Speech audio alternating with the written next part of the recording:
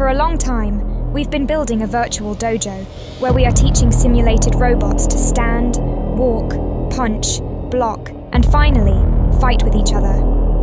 Our robots are able to demonstrate state of the art performance in a hostile environment, and this is only the beginning.